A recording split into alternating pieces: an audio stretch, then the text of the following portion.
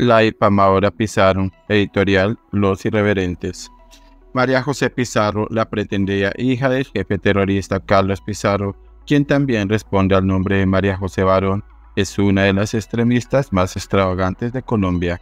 Ha hecho fama no propiamente por la brillantez de sus propuestas o intervenciones, sino por el exagerado calibre de su insensateces. Su nivel intelectual es básicamente nulo y ello explica el porqué de las dificultades que padeció cuando se vio abocada a culminar los cursos técnicos en joyería que atendió durante su estadía en Barcelona. Su virulencia es directamente proporcional a su falta de talento y formación. Petro se valió origen y la calidad de la posible hija del cabecilla del M-19 y procedió a utilizarla como herramienta electoral.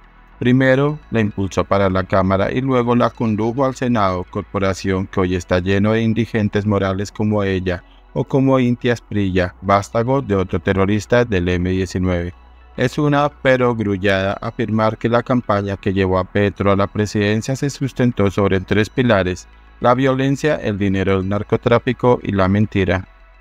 La violencia estimulada por Petro, financiada por Bolívar y ejecutada por la banda criminal denominada Primera Línea. Los recursos económicos de la mafia a través de maniobras sucias como las que, por ejemplo, protagonizó el primogénito de Petro, o los acuerdos que selló Pia Córdoba con los extraditables, en lo que se conoció como el Pacto de la Picota, y la mentira, como las que difundieron en redes sociales y a través de periodistas y medios de comunicación fletados aseverando que el gobierno del presidente Duque, por medio del ministro de Defensa de la época, Diego Molano, había ordenado torturar, mutilar y asesinar a jóvenes que participaron en las tales protestas sociales, que en realidad fueron azonadas delincuenciales perfectamente planificadas en los cuarteles de Petro. Con la consigna de nos están matando, el socialcomunismo colombiano prefabricó la percepción de que el gobierno anterior violaba los derechos humanos, cuando la realidad es que la administración Duque observó un respeto irrestricto por las personas que legítimamente expresaron su descontento, lo que no significó que el Estado volteara la mirada frente a las acciones violentas perpetradas por el brazo criminal del denominado pacto histórico. De cara a las elecciones locales del próximo mes de octubre, la agresiva senadora Pizarro emprendió una serie de ataques contra el exministro Diego Molano, quien aspira a ser alcalde de Bogotá.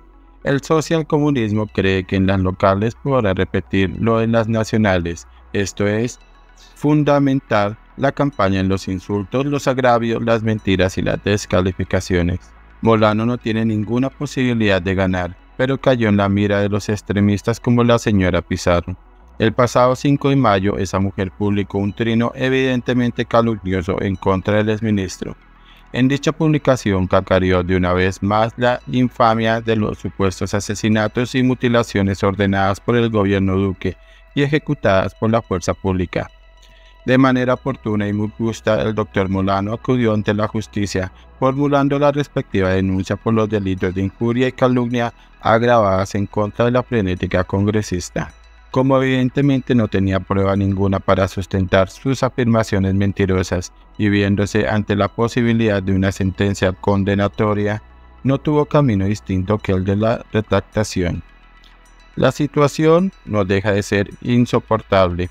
Resulta entonces que una persona o un grupo político durante meses y hasta años difunden mentiras y calumnias y cuando se ven ante una inevitable sanción penal resuelven despachar el asunto publicando un trino rápido en medio de la noche con el que ofrecen retractación.